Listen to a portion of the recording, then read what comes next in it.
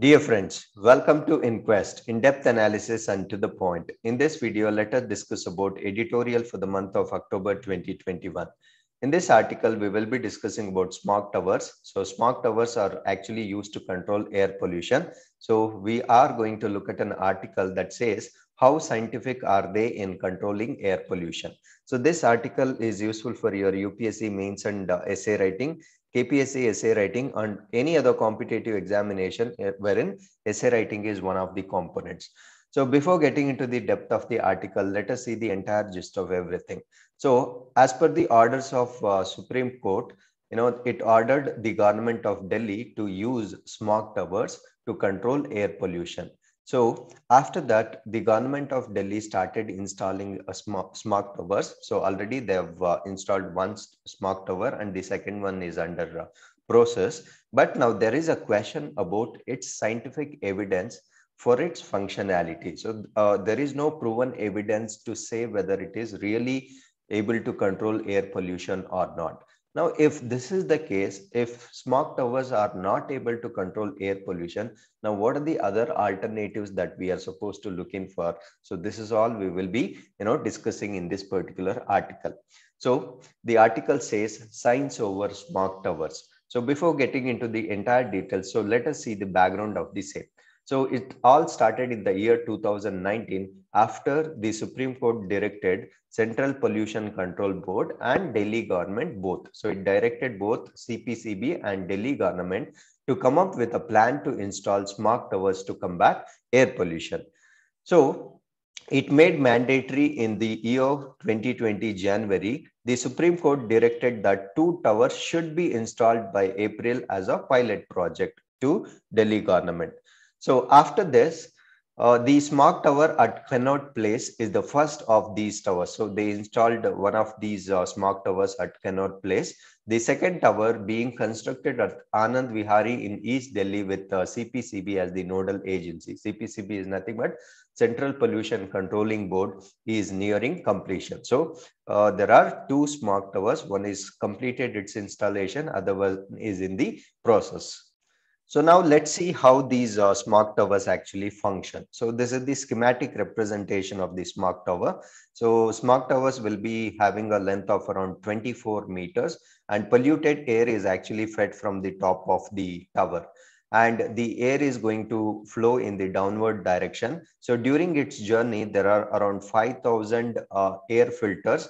They will be presented or installed in two layers inside the tower and after the air passing through all these filters the cleaned air is expected to you know the air uh, that is going to come down is expected to be or anticipated to be clean and it is going to release uh, at, at around 10 meters from the ground level so this is how the simple uh, principle of these smog towers is going to work so smog towers are structures designed to work as large scale air purifiers. They are usually fitted with multiple layers of air filters, which clean the air of pollutants as it passes through them. It uses downdraft air cleaning system. As I told you, it uh, actually moves downward where polluted air is sucked at the height of 24 you know meters. So uh, it is sucked at the top. So that is at the height of 24 meters and filtered air is released at the bottom of the tower at the height of about 10 meters from the ground. So this is the entire functionality of smog tower and China has the world's largest smog tower today. So let's see science over smog towers. So two new smog towers have been recently inaugurated in Delhi. Bengaluru and Chandigarh also installed smog towers this year. Mumbai's clean air plan indicates a financial requirement of 25 crore for installing air filtration units at major tra traffic intersections in the city. While these efforts indicate that the governments are taking cognizance of air pollution, the deployments are often driven by symbolism rather than science. So this is the question.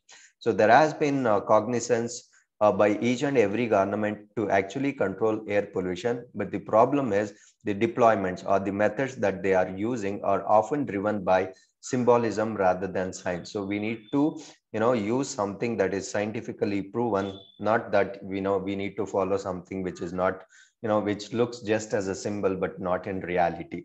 So for example, uh, the Delhi government claims that the newly installed smog tower in Connaught Place could reduce air pollution level by 80 percentage. So if this is true, then it is def definitely significant move. Controlling air pollution to an extent of 80 percentage is a big number.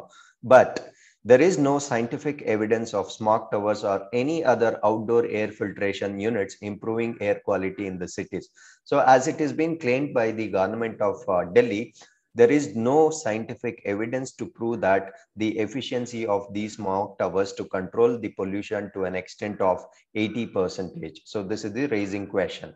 So the smog towers installed in uh, China, Xi'an. So to uh, take a cross reference uh, from any other country that are using the similar kind of smog towers, we can refer back to China. So they've also installed similar smog towers, towers in two places. One is at Xi'an and another one is installed at Beijing did not prove to be eff effective and were not scaled up. So since they were not uh, proven to be effective, so they did not try to, you know, expand the similar kind of smog towers elsewhere. So that is called as they did not, you know, they were not scaled up. So smog towers create an illusion of progress. So you can note this point. It is just an illusion of progress.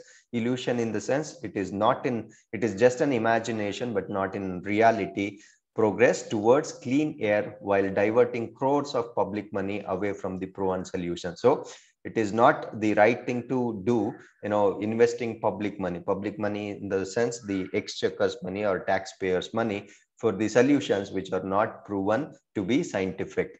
And moreover, they misdirect policymakers and citizens by deflecting attention from areas that call for an urgent action. So uh, especially when you look at Delhi. So it is uh, seriously a very chronic problem to, you know, to, it has to be addressed or air pollution has to be taken care of. And such uh, measures like installing smog towers, they say that the, it, it is going to misdirect both policymakers and citizens by deflecting attention from areas that call for an urgent urgent action. Therefore, the government looking at investing indoor filtration systems should defer their deployment plans. So this is what is the author suggests. Further, the data on the effectiveness of the newly installed smog towers should be made available publicly for independent evaluation. So this is what is the requisition. So if they say that it is going to have you know 84 percentage efficiency such data should be made available publicly for independent evaluation so now if that is the case now what are the other alternatives that we have to control air pollution meanwhile the governments must ramp up investments in proven solutions to reduce air pollution so first and foremost point is you need to come uh, you know start or you need to use the uh, solutions that are basically scientifically proven, not something that is not scientifically proven. So that is the first point that we can add on. Now, what are the you know things that uh, are supposed to be done apart from that? So first solution, policymakers should expand air pollution monitoring in areas with limited or no air quality monitoring and strengthen forecasting capacity across the cities. So first and foremost thing is we need to monitor the pollution, the extent of pollution that is happening. So this is like a diagnosis. So if you go to doctor, so first thing they do is diagnose and they will try to find out the cause of the disease. Similarly, we need to find out the extent of air pollution. So without knowing the extent of pollution, it is like searching for a solution without knowing the problem. So this is what is the problem that is happening in our country.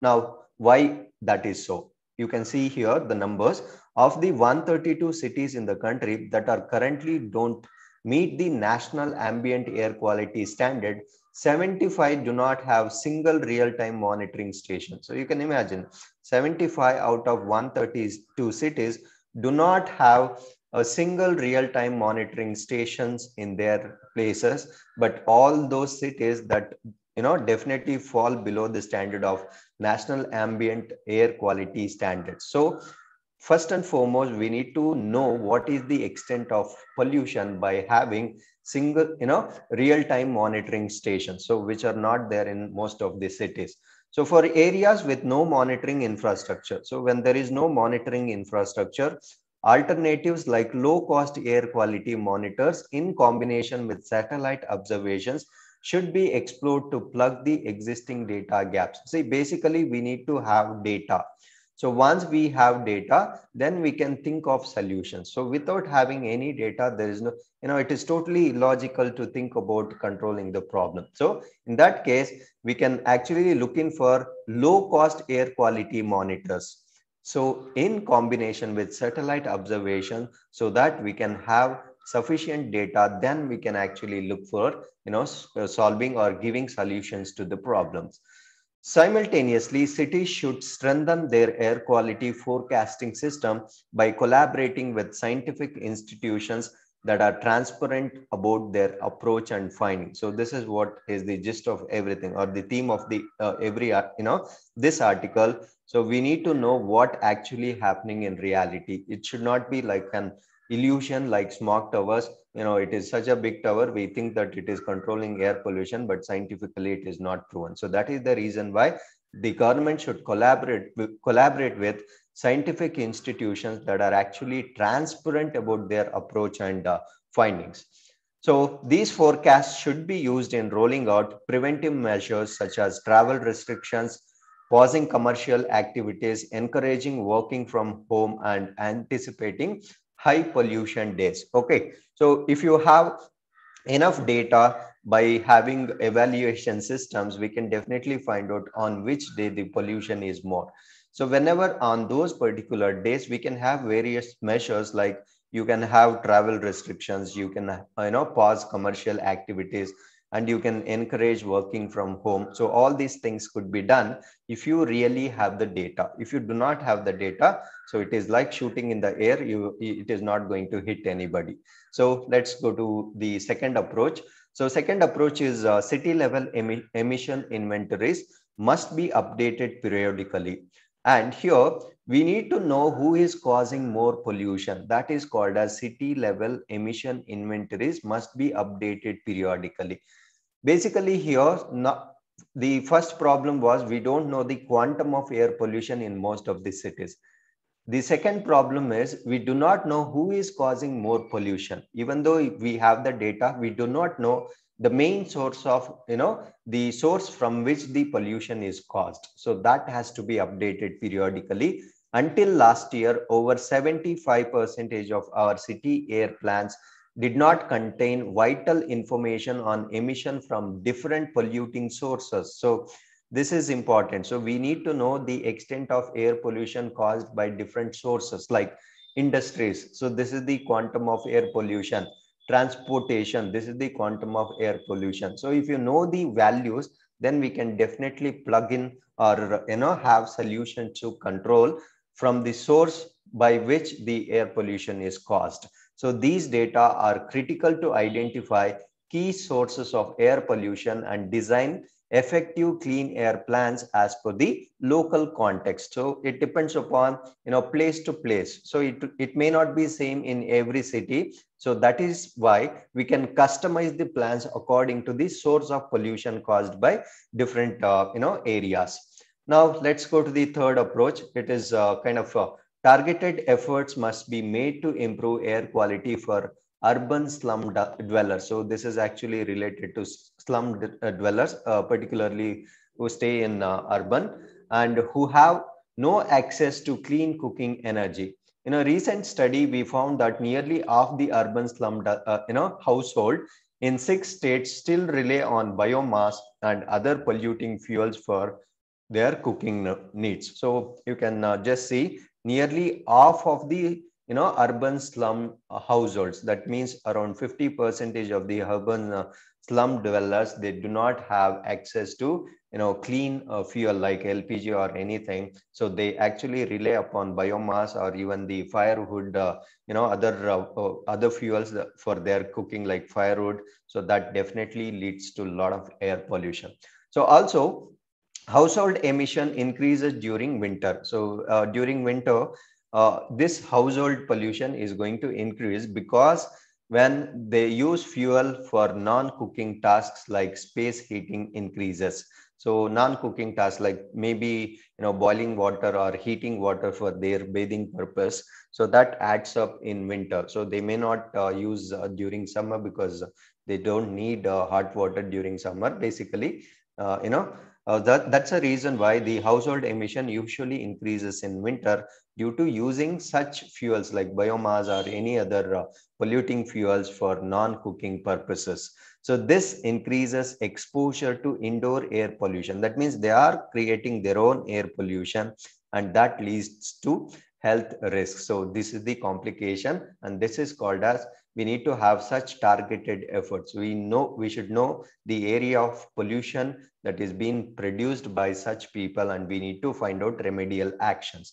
Hence, policymakers must focus on providing LPG connections to these households along with ensuring sustainable use of LPG as the primary fuel. So this is called as targeted approach. So wherein we need to or policymakers should think about providing the you know solution which do not cause any air pollution and they also make them learn how to use these fuels in a sustainable way so this is the third approach and finally the most importantly the city should strengthen their enforcement capacity by investing in people and system that can keep a round the clock watch on both egregious and episodic polluters so this is very, very important. Egregious, you know, they pollute always and episodic, you know, for no reason, there will be, you know, bursting of crackers. You know, it might, uh, you might have observed in many of the cities, but they might have reason, but I don't know every day why